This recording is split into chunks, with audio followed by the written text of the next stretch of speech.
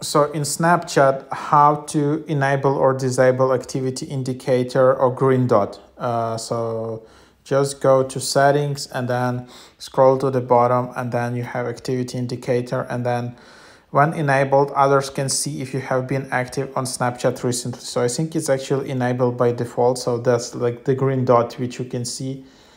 If you want you can just disable and then uh, then so that's just what it is uh, people won't be able when you were active on on snapchat